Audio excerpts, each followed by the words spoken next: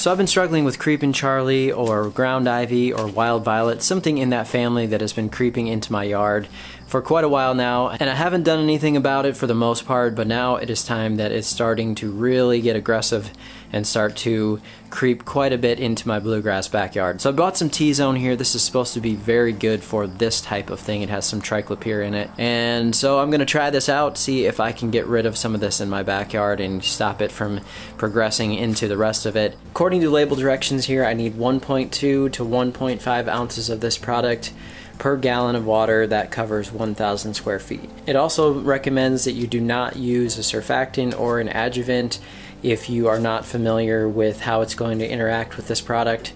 So I've never used it before. I'm not going to use anything this time and we'll try it without any surfactant or anything mixed into there. I'm gonna go with the lower rate. I'm gonna go with 1.2 into one gallon of water and then we will spray.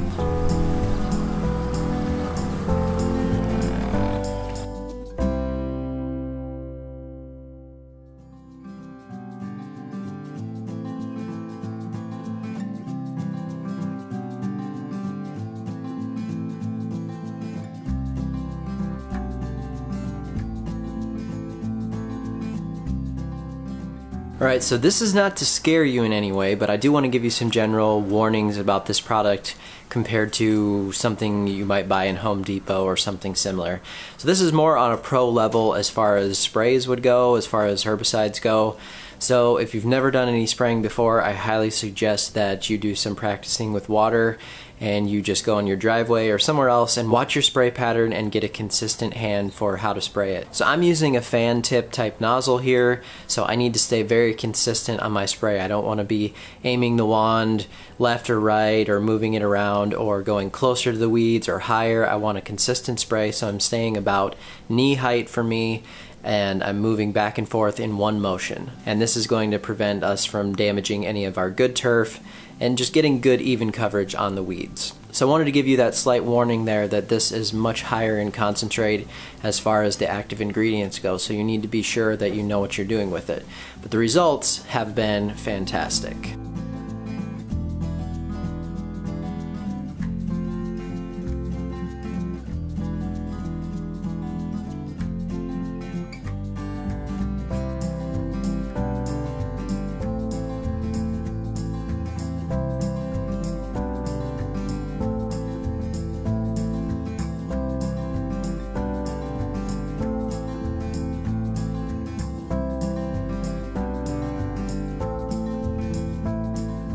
So my results in only a few days actually surprised me. I've never used this product before and on the weeds that I had in the backyard they were looking brown and starting to curl up in maybe three to four days, some of them even less than that. So I was really happy with that. There are a few of them still mixed in the turf that are somewhat green, some of them look damaged. So remember that outside of the fence area, if we go back to the before stuff here, I had a really thick population of this weed coming in at that point, so I didn't really think that I would probably get everything in one spray. Knowing that I wanted even coverage in just one spray here at the beginning to see how the results would turn out, I knew that if I needed to do more, I would rather do one more application than go too heavy on the first one and do any damage to the turf. So the, for the most part, it did a great job. I do see a few outside of the fence.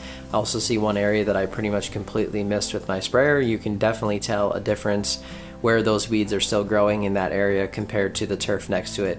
So we know that it's working. This does have a 30 day interval on the label that says you should not spray it again for 30 days. So I will let it go for 30 days. I will see what happens later on. And if we're still in warm enough season that I can do that, I will do that. Otherwise, I will look to next spring and see what happens after we come out of the winter season. I've been struggling with this type of weed in my lawn for a while and this looks like it has finally taken care of things. If you have questions, let me know down in the comment section below. Thank you so much for watching this video. We'll see you next time.